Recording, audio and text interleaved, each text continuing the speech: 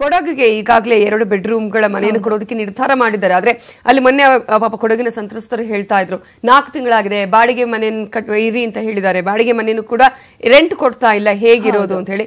At least ಈಗಾದ್ರೂ ಮನ್ಸು ಮಾಡಿದೆಯಲ್ಲ ಸರ್ಕಾರ ಅನ್ನೋದು ಖುಷಿ ಮಾಡಿದೆ ಕಾಮಗಾರಿ ಸ್ಟಾರ್ಟ್ ಆಗಿ ಅವರ ಕೈಗೆ ಮನೆ ಯಾವಾಗ ಸಿಗುತ್ತೋ ಗೊತ್ತಿಲ್ಲ. ಆದಷ್ಟು ಬೇಗ ಆಗ್ಲಿ ಅಂತ ನಾವು ಕೂಡ ಆಶಿಸೋಣ. ಹಾಗೆ ಹಂಪಿ ಉತ್ಸವ ಕೂಡ ಈಗಾಗಲೇ ಜಿಲ್ಲಾಡಳಿತ ನಿರ್ಧಾರ ಮಾಡಿದೆ. ಒಂದ್ ಕಡೆ ಖುಷಿ ವಿಚಾರ ಯಾಕಂದ್ರೆ ಸಾಕಷ್ಟು ಆರೋಪ ವಿವಾದ ಎಲ್ಲವೂ ಕೂಡ ಆಗಿತ್ತು. ಜನವರಿಯಲ್ಲಿ ಹಂಪಿ ಉತ್ಸವ ಮಾಡ್ತೀವಿ ಅಂತ ಸರ್ಕಾರ ಒಪ್ಕೊಂಡಿದೆ, ಏನಾಗುತ್ತೆ ನೋಡೋಣ, ಮುಂದಿನ ದಿನದಲ್ಲಿ ಈ ಒಂದು ವಿಚಾರ ಕೂಡ ಅಂತ. ಇನ್ನು ಮುಂದಿನ ಸುದ್ದಿ. ನಡೆದಾಡುವ ದೇವರು ಶತಾಯುಷಿ ಶ್ರೀ ಶಿವಕುಮಾರ ಸ್ವಾಮೀಜಿ ಆರೋಗ್ಯದಲ್ಲಿ ಚೇತರಿಕೆ ಕಂಡುಬಂದಿದೆ. ರಾತ್ರಿ ಬೆಂಗಳೂರಿನ ಬಿಜಿಎಸ್ ಆಸ್ಪತ್ರೆ ವೈದ್ಯರಾದ ಡಾಕ್ಟರ್ ರವೀಂದ್ರ ಅವರು ಮಠಕ್ಕೆ ಭೇಟಿ ನೀಡಿ ತಪಾಸಣೆ ನಡೆಸಿದರು. ರಾತ್ರಿ ಸುಮಾರು ಹನ್ನೆರಡು ಗಂಟೆಗೆ ಆಗಮಿಸಿದ ವೈದ್ಯರು ಮಧ್ಯರಾತ್ರಿ ಒಂದು ಗಂಟೆ ತನಕ ತಪಾಸಣೆ ನಡೆಸಿದರು. ಬಳಿಕ ಯಾವುದೇ ರೀತಿಯ ತೊಂದರೆ ಇಲ್ಲ ಅಂತ ತಿಳಿಸಿದ್ದಾರೆ. ನಿನ್ನೆ ಸಂಜೆ ಸಿದ್ದಗಂಗಾ ಮಠದ ರಾಗಿಹೊಲದಲ್ಲಿ ವಾಯು ವಿಹಾರಕ್ಕೆ ತೆರಳಿದ್ದ ಸ್ವಾಮೀಜಿ ಅವರು ಜ್ವರದಿಂದ ಕೆಲಕಾಲ ಅಸ್ವಸ್ಥರಾಗಿದ್ರು ಹೀಗಾಗಿ ಮಠದ ಡಾಕ್ಟರ್ ಪರಮೇಶ್ ವೈದ್ಯರ ತಂಡ ಮಠಕ್ಕೆ ದೌಡಾಯಿಸಿ ಅವರ ಆರೋಗ್ಯದ ಕುರಿತು ತಪಾಸಣೆ ನಡೆಸಿತ್ತು. ಇದಾದ ಬಳಿಕ ಬಿಜಿಎಸ್ ಆಸ್ಪತ್ರೆಯ ವೈದ್ಯರು ತೆರಳಿ ತಪಾಸಣೆ ಮಾಡಿದ್ದಾರೆ. ಸ್ಟಂಟ್ ಅಳವಡಿಸಿದ್ದ ಗಾಲ್ ಬ್ಲಾಡರ್ ಇನ್ಫೆಕ್ಷನ್ನಿಂದ ಜ್ವರ ಬಂದಿತ್ತು. ಏನು ತೊಂದರೆ ಇಲ್ಲ, ಇಂಜೆಕ್ಷನ್ ಹಾಕಿದ ಮೇಲೆ ಸ್ವಾಮೀಜಿ ಆರಾಮಾಗಿದ್ದಾರೆ ಅಂತ ವೈದ್ಯ ಪರಮೇಶ್ ತಿಳಿಸಿದ್ದಾರೆ. ಇದೇ ವೇಳೆ ಮಾತನಾಡಿದ ಕಿರಿಯ ಶ್ರೀ ಸಿದ್ದಲಿಂಗ ಸ್ವಾಮೀಜಿ ಶ್ರೀಗಳು, ಆರಾಮಾಗಿದ್ದಾರೆ, ಯಾವುದೇ ತೊಂದರೆ ಇಲ್ಲ, ಭಕ್ತಾದಿಗಳು ತಾಳ್ಮೆಯಿಂದಿರಬೇಕು, ಸದ್ಯಕ್ಕೆ ಭಕ್ತಾದಿಗಳಿಗೆ ಶ್ರೀಗಳ ದರ್ಶನದ ವ್ಯವಸ್ಥೆ ಇಲ್ಲ ಅಂತ ತಿಳಿಸಿದರು. ಸಂಜೆ ಒಂದು ಸ್ವಲ್ಪ ಮತ್ತೆ ಅವ್ರದ್ದು ಹಾರ್ಟ್ ರೇಟ್ನಲ್ಲಿ ಸ್ವಲ್ಪ ವೇರಿಯೇಷನ್ ಸ್ವಲ್ಪ ಜ್ವರ ಕಂಡದ್ರಿಂದ ರವೀಂದ್ರ ಡಾಕ್ಟರ್ ರವೀಂದ್ರ ಅವರು ಎಸ್ ಆಸ್ಪತ್ರೆಯಿಂದ ಬಂದು ಈಗ ತಾನೇ ಅವರೆಲ್ಲ ತಪಾಸಣೆ ಮಾಡಿ ಹೋಗಿದ್ದಾರೆ. ಏನು ತೊಂದರೆ ಏನಿಲ್ಲ. ಈಗ ಮತ್ತೆ ಇಂಜೆಕ್ಷನ್ಸ್ ಇವನ್ನೆಲ್ಲ ಹಾಕಿದ್ಮೇಲೆ ಸ್ವಾಮೀಜಿ ಬಹಳ ಆರಾಮಾಗಿದ್ದಾರೆ. ಮತ್ತೆ ಈಗ ಪೂಜೆನೂ ಮಾಡಿದ್ರು. ಒಂಬತ್ತುವರೆಗೆ ಪೂಜೆ ಪ್ರಸಾದ ಎಲ್ಲ ಮಾಡಿದ್ದಾರೆ. ಏನು ತೊಂದರೆ ಏನಿಲ್ಲ.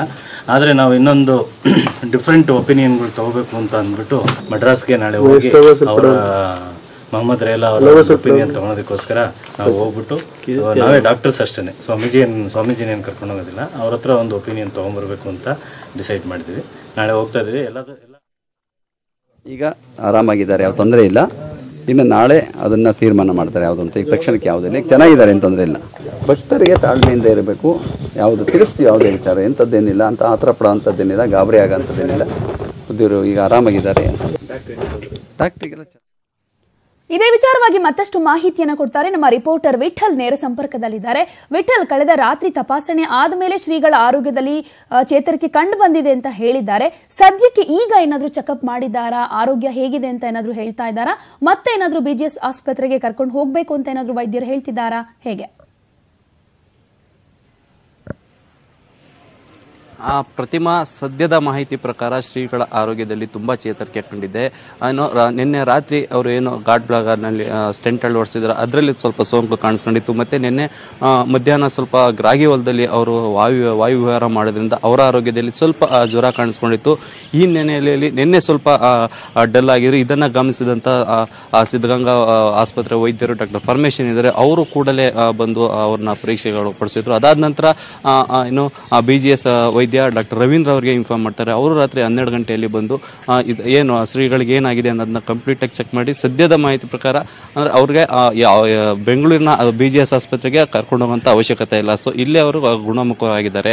ನಿನ್ನೆ ರಾತ್ರಿಲೇ ಕೂಡ ಅವರಿಗೆ ಸುಮಾರು ಒಂಬತ್ತು ಗಂಟೆ ವೇಳೆಯಲ್ಲಿ ಸಂಪೂರ್ಣ ಗುಣಮುಖ ಆಗಿದ್ರು. ಮತ್ತೆ ಅವರು ಆ ಟೈಮ್ನಲ್ಲೂ ಕೂಡ ಸ್ನಾನ ಮಾಡಿ ಪೂಜೆ ಮುಗಿಸಿ, ಮತ್ತೆ ಪ್ರಸಾದ ಸೇವನೆ ಮಾಡಿದ್ರು. ಮತ್ತೆ ಇವತ್ತು ಇವತ್ತು ಸದ್ಯದ ಮಾಹಿತಿ ಪ್ರಕಾರ ಅವರಿಗೆ ಆರೋಗ್ಯದಲ್ಲಿ ಯಾವುದೇ ರೀತಿಯಾದಂಥ ಸಮಸ್ಯೆ ಇಲ್ಲ.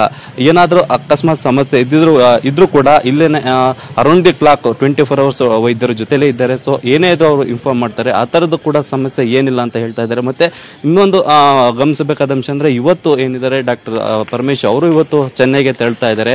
ಅಂದ್ರೆ ಅಲ್ಲಿ ಏನು ಡಾಕ್ಟರ್ ಮೊಹಮ್ಮದ್ ರನ್ನ ರಲ್ಲಾ ಮತ್ತೆ ಡಾಕ್ಟರ್ ಪಳನಿವೇಲು ಮತ್ತೆ ಇವ್ರನ್ನ ಸಂಪರ್ಕಿಸಿ ಇವ್ರಿಗೆ ಇನ್ನೂ ಡಿಫ್ರೆಂಟ್ ಒಪಿನಿಯನ್ ಕೇಳಿ ಇಷ್ಟು ದಿನ ಕೊಟ್ಟಿರೋ ಚಿಕಿತ್ಸೆ ಕರೆಕ್ಟ್ ಆಗಿದೆಯಾ ಅಥವಾ ಇದು ಏನಾದ್ರು ಚೇಂಜಸ್ ಮಾಡ್ಕೊಬೇಕನ್ನೋ ಚರ್ಚೆಲಿದ್ದಾರೆ ಪ್ರತಿಮಾ. ಧನ್ಯವಾದ ವಿಠಲ್ ತಮ್ಮೆಲ್ಲ ಮಾಹಿತಿಗಾಗಿ. ಎಸ್ ಆತಂಕ ಒಂದ್ ಕಡೆ ಎಲ್ಲಾ ಭಕ್ತರಿಗೂ ಕೂಡ ಆತಂಕ ಇರುತ್ತೆ ಏನಾಗುತ್ತೋ ಏನು ಅಂತ ಹೇಳಿ ಈಗಾಗಲೇ ಚೇತರಿಕೆ ಕಂಡಿದ್ದಾರೆ ಅನ್ನುವಂಥ ಮಾಹಿತಿ ಕೂಡ ನಮ್ಮ ರಿಪೋರ್ಟರ್ ಕೂಡ ಕೊಟ್ಟಿದ್ದಾರೆ. ಪ್ರತಿಮಾ ಇವತ್ತು ಎರಡು ಒಂದು ಗುಡ್ ನ್ಯೂಸ್ ಒಂದು ಬ್ಯಾಡ್ ನ್ಯೂಸ್ ಇದೆ ಜನರಿಗೆ. ಯಾಕಂದ್ರೆ ಒಂದ್ ಕಡೆ ಈಗಾಗಲೇ ರಾಜ್ಯದ ಮೀನಿನ ಮೇಲೆ ನಿರ್ಬಂಧವನ್ನ ಗೋವಾ ಸರ್ಕಾರ ಹೇರಿತ್ತು. ಆದ್ರೆ ಸಾಕಷ್ಟು ಪ್ರತಿಭಟನೆಗಳು ಕೂಡ ನಡೆದಿದ್ವು ಆ ನಂತರ ಆ ಒಂದು ನಿರ್ಧಾರವನ್ನ ಈಗ ಗೋವಾ ಸರ್ಕಾರ ಹಿಂಪಡೆದಿದೆ ಅನ್ನೋದು. ಗುಡ್ ನ್ಯೂಸ್ ಇದು. ಹಾಗೆ ಬ್ಯಾಡ್ ನ್ಯೂಸ್ ಏನು ಅಂತ ನೋಡೋದಾದ್ರೆ ಈಗ ಪ್ರಮುಖವಾಗಿ ಮನೆ ಪಕ್ಕದಲ್ಲಿ ಸರ್ಕಾರಿ ಶಾಲೆ ಇದ್ರೂ ಆರ್ಟಿಇನಲ್ಲಿ ನಲ್ಲಿ ಸೀಟ್ ಸಿಗುತ್ತೆ ಅಂತ ಖಾಸಗಿ ಶಾಲೆಗೆ ಮಕ್ಕಳನ್ನ ಅನೇಕ ಪೋಷಕರು ಸೇರಿಸ್ತಾ ಇದ್ರು. ಆದ್ರೆ ಐದು ಕಿಲೋಮೀಟರ್ ವ್ಯಾಪ್ತಿಯಲ್ಲಿ ಸರ್ಕಾರಿ ಮತ್ತು ಅನುದಾನಿತ ಶಾಲೆ ಇದ್ರೂ ಆರ್ಟಿಇ ಅಡಿಯಲ್ಲಿ ಖಾಸಗಿ ಶಾಲೆ ಸೇರಿದ್ರೆ ಅಂತಹ ಮಕ್ಕಳಿಗೆ ಶುಲ್ಕ ವಿನಾಯಿತಿ ಇರೋದಿಲ್ಲ. ಅವರು ಪೂರ್ತಿ ಶುಲ್ಕವನ್ನ ಕಟ್ಟಬೇಕು ಅನ್ನುವಂತ ನಿರ್ಧಾರವನ್ನ ಮಾಡಾಗಿದೆ ಬಟ್ ವಿರೋಧ ವ್ಯಕ್ತ ಆಗೇ ಆಗುತ್ತೆ ಬಟ್ ನಿಜವಾಗ್ಲೂ ಒಂದ್ ರೀತಿಯಲ್ಲಿ ಒಳ್ಳೇದೇ ಅಂತ ಅನ್ಸುತ್ತೆ. ಯಾಕಂದ್ರೆ ನಾವು ಖಾಸಗಿ ಶಾಲೆಗೆ ಸೇರಿಸಬೇಕು ಅಂತ ಎಷ್ಟೋ ಪೋಷಕರಿಗೆ ಇರುತ್ತೆ. ಸರ್ಕಾರಿ ಶಾಲೆ ಅಲ್ಲೇ ಹತ್ರದಲ್ಲಿ ಇರ್ತಾರೆ ಒಳ್ಳೆಯ ಗುಣಮಟ್ಟದ ಎಜುಕೇಶನ್ ಇದ್ರೂ ಕೂಡ ಸೇರಿಸೋದೇ ಇಲ್ಲ. ಬೇಡ ಖಾಸಗಿ ಶಾಲೆಗೆ ಸೇರಿಸಬೇಕು ಸರ್ಕಾರಿ ಶಾಲೆಗಳ ಅಭಿವೃದ್ಧಿ ಕೂಡ ಆಗ್ತಾ ಇಲ್ಲ. ಯಾಕಂದ್ರೆ ಮಕ್ಕಳೇ ಸರಿಯಾಗಿ ಶಾಲೆಗೆ ಬರೋದಿಲ್ಲ. ಎಲ್ಲ ಖಾಸಗಿ ಶಾಲೆಗೆ ಹೋಗ್ತಾರೆ ಅನ್ನೋ ಆರೋಪ ಇತ್ತು ಬಟ್ ಈ ನಿರ್ಧಾರದಿಂದ ಈ ಸಮಸ್ಯೆ ಕಮ್ಮಿ ಆಗಬಹುದು ಅಂತ ಅನ್ಸುತ್ತೆ. ಎಸ್ ಇನ್ನು ಮುಂದಿನ ಸುದ್ದಿ ನೋಡೋದಾದ್ರೆ ಸಿಎಂ ಕುಮಾರಸ್ವಾಮಿ ಈಗ ಮತ್ತೆ ಟೆಂಪಲ್ ರನ್ ಮಾಡ್ತಿದ್ದಾರೆ. ಇವತ್ತು ಶೃಂಗೇರಿಗೆ ಭೇಟಿ ಕೊಟ್ಟು ಶಾರದಾಂಬೆಗೆ ಅವರು ವಿಶೇಷ ಪೂಜೆ ಸಲ್ಲಿಸಲಿದ್ದಾರೆ. ರೇವಣ್ಣ ಅವರ ಯಾಗ ಪೂರ್ಣಾಹುತಿಯಲ್ಲಿ ಅವರು ಕೂಡ ಭಾಗಿಯಾಗಲಿದ್ದಾರೆ. ಸಿಎಂ ಕುಮಾರಸ್ವಾಮಿ ಜೊತೆ ಎಚ್ಡಿಡಿ ಕೂಡ ತೆರಳಲಿದ್ದು, ವಿಶೇಷ ಪೂಜೆಯಲ್ಲಿ ಭಾಗಿಯಾಗಲಿದ್ದಾರೆ. ಇವತ್ತು ಶೃಂಗೇರಿಯಲ್ಲೇ ವಾಸ್ತವ್ಯ ಹೂಡಲಿದ್ದು, ನಾಳೆ ಮಡಿಕೇರಿ ಹಾಗೂ ಮಂಡ್ಯ ಪ್ರವಾಸವನ್ನ ಸಿಎಂ ಕೈಗೊಳ್ತಾರೆ.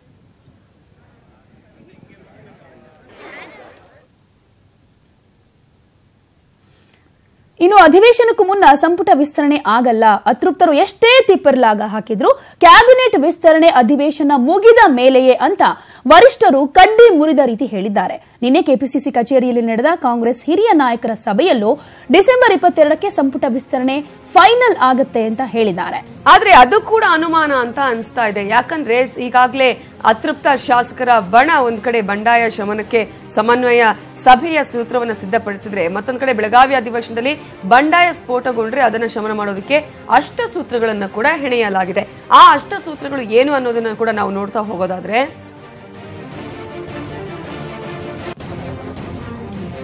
ಶಾಸಕರ ಕ್ಷೇತ್ರಗಳಿಗೆ ತಾರತಮ್ಯ ಇಲ್ಲದೆ ಹೆಚ್ಚಿನ ಅನುದಾನವನ್ನ ಕೊಡಬೇಕು ಅನ್ನುವಂತಹ ಸೂತ್ರ ರೆಡಿ ಮಾಡ್ಕೊಂಡಿದ್ದಾರೆ.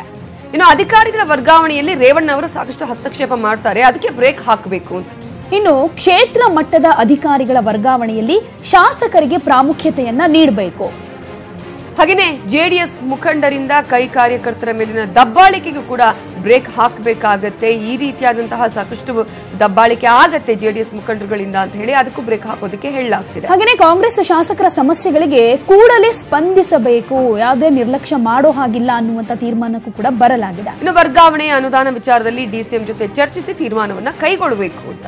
ಹಾಗೇನೆ ಜೆಡಿಎಸ್ ಸಚಿವರ ಕ್ಷೇತ್ರದಲ್ಲಿ ಕೈ ಶಾಸಕರು ಮುಖಂಡರ ಮಾತಿಗೆ ಮನ್ನಣೆಯನ್ನ ಕೊಡಬೇಕು.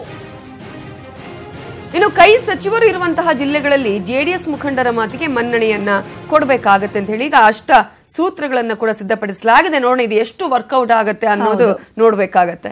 ಎಸ್ ಇನ್ನು ರಾಜಸ್ಥಾನ ಮತ್ತು ತೆಲಂಗಾಣ ರಾಜ್ಯಗಳ ವಿಧಾನಸಭಾ ಚುನಾವಣೆ ನಾಳೆ ನಡೆಯುತ್ತೆ. ರಾಜಸ್ಥಾನದಲ್ಲಿ ಐವತ್ತೊಂದು ಸಾವಿರದ ಒಂಬೈನೂರ ಅರವತ್ತೈದು ಮತಗಟ್ಟೆಗಳನ್ನು ಸ್ಥಾಪಿಸಲಾಗಿದ್ದು ಸುಮಾರು ನಾಲ್ಕು ಕೋಟಿ ಎಪ್ಪತ್ತಾರು ಲಕ್ಷಕ್ಕೂ ಹೆಚ್ಚು ಮತದಾರರು ತಮ್ಮ ಹಕ್ಕು ಚಲಾಯಿಸುವುದಕ್ಕೆ ಅರ್ಹತೆಯನ್ನ ಪಡೆದಿದ್ದಾರೆ. ತೆಲಂಗಾಣದಲ್ಲಿ ವಿವಿಧ ರಾಜಕೀಯ ಪಕ್ಷಗಳು ಕೂಡ ಭರ್ಜರಿ ಪ್ರಚಾರ ಮಾಡಿದ್ದು ನಾಳೆ ಮತದಾನ ನಡೆಯುತ್ತೆ. ಎರಡೂ ರಾಜ್ಯಗಳ ಚುನಾವಣೆ ಈಗ ಭಾರಿ ಕುತೂಹಲಕ್ಕೆ ಕಾರಣವಾಗಿದೆ.